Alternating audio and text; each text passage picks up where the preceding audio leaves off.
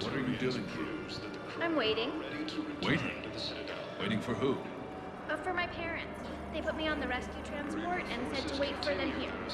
They'll come find me as soon as they can. Uh, I guess this is a safe enough place. Look, if anyone bothers you, let me know. I'll take care of it. Sure thing, sir. Thanks. Hey there. Oh, It's okay. I mean, they'll get here. They always keep their promises. They... Next shuttle was probably just late or something. That's all. I'm sure you're right. I look forward to meeting you. Hey! Oh. Hey, it's you. Still waiting, I see. Any news? No, but they promised, right? They'll get here soon.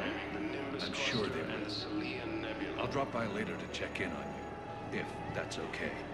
Okay. forces struck back at Cerberus with a daring attack that disabled a Cerberus fighter.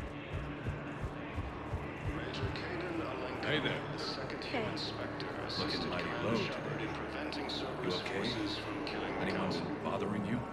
No, it's not that. I'm fine. No replacement Ah, has been I see. for the position vacated by So, Councilor Donnel any Udina, news? No, they just- in an attempted Their shuttle must be real slow, that's all. Do you think they're okay?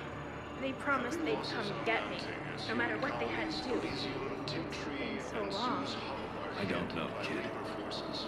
I'm sure they'd be happy knowing you're safe. Grissom Academy also so much.